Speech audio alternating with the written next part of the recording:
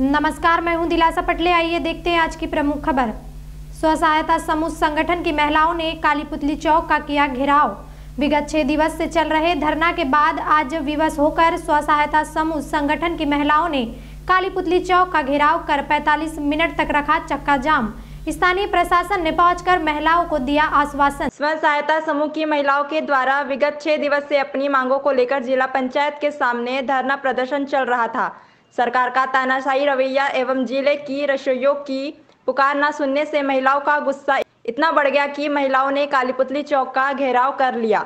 स्थानीय तहसीलदार महोदय के द्वारा पहुंचकर आश्वासन दिया गया। वहीं महिलाओं का कहना है कि अगर कलेक्टर महोदय सोमवार तक किसी प्रकार की कोई प्रतिक्रिया नहीं देते हैं तो हमारे द्वारा जेल भरो आंदोलन किया जाएगा और जेल समाधि ट्रेन रोककर आंदोलन को और भी तेज किया जाएगा। देखिए, पूरे मध्य प्रदेश में जो रसोइया संघ है, अर्थात जो मध्यान्ह भोजन में खाना बनाती है हमारे साथी, उनका अप्रैल से अब तक का जो मानदेय है, वो तो नहीं मिला है। उसका, उस कारण को लेकर इन्होंने पहले धरना प्रदर्शन किया और आज आकस्मिक तौर पर कालीपुटी चौक में उन्होंने चक्का जाम की जैसी स्थिति निर्मित की थी।